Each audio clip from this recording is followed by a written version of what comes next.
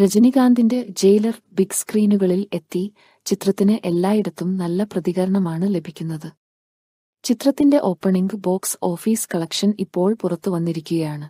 ചിത്രം ലോകമെമ്പാടും എഴുപത്തിരണ്ട് കോടിയിലധികം നേടിയെന്നാണ് റിപ്പോർട്ട്.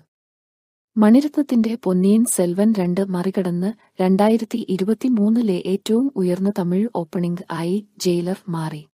ജയിലർ ഇന്നലെ ആഗസ്റ്റ് പത്ത് തിയേറ്ററുകളിൽ റിലീസ് ചെയ്തു. സിനിമയുടെ വിപുലമായ പ്രൊമോഷൻ ജോലികൾ ലോകമെമ്പാടുമുള്ള കൂടുതൽ സ്ക്രീനുകൾ കൈവശപ്പെടുത്താൻ കാരണമായി. അതനുസരിച്ച് രജനികാന്ത് നായകനായ ചിത്രം ആദ്യ ദിനത്തിൽ തൊണ്ണൂറ് ശതമാനം ഒക്യുപൻസി നേടിയതായി റിപ്പോർട്ടുണ്ട്. കൂടാതെ റിലീസ് ദിവസം ലോകമെമ്പാടും എഴുപത്തിരണ്ട് കോടി രൂപ നേടിയതായി പറയപ്പെടുന്നു. ജയിലർ ആഗസ്റ്റ് പത്ത് തമിഴ്നാട്ടിൽ നിന്ന് ഇരുപത്തിനാല് കോടി രൂപ നേടിയതായി റിപ്പോർട്ടുണ്ട്. അതേസമയം ചിത്രത്തിന്റെ ആഭ്യന്തര കളക്ഷൻ ഏകദേശം അൻപത്തിരണ്ട് കോടി രൂപയാണ്. കേരളത്തിൽ നിന്ന് ആറ് കോടി തെലുങ്ക് സംസ്ഥാനങ്ങളിൽ നിന്ന് പത്ത് കോടി കർണാടകയിൽ നിന്ന് പത്ത് കോടി.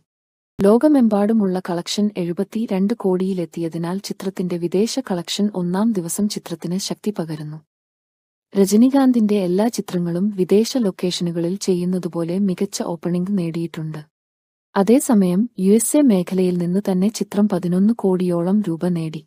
ചിത്രത്തിന്റെ രണ്ടാം ദിവസത്തെ കളക്ഷൻ ആദ്യ ദിനത്തേക്കാൾ കുറവായിരിക്കുമെന്ന് പ്രതീക്ഷിക്കുന്നു. എന്നാൽ വാരാന്ത്യത്തിൽ ചിത്രം ഒന്നാം സ്ഥാനത്തെത്തും. മോഹൻലാൽ ശിവരാജ്കുമാർ യോഗി ബാബു എന്നിവരുടെ പ്രകടനത്തിന് മികച്ച അഭിപ്രായമാണ് ജയിലർ നേടുന്നത്.